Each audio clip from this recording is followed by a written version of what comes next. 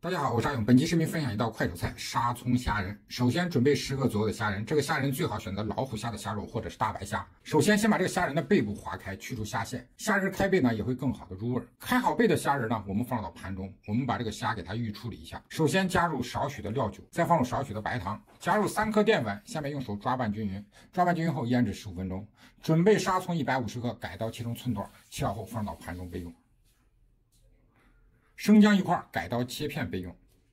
起锅放油，把切好的姜片放入到油内，油热后放入虾仁，中火煎。煎这个虾呢，把表面煎成焦黄色，煎的要均匀，虾背的地方也要煎到。这一步大概需要三分钟左右。